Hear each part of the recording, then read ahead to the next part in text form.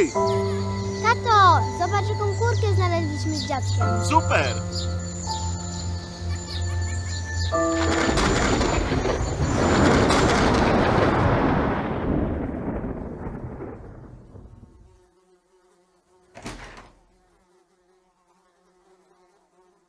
Jedzenie. A te twoje leki są za drogie.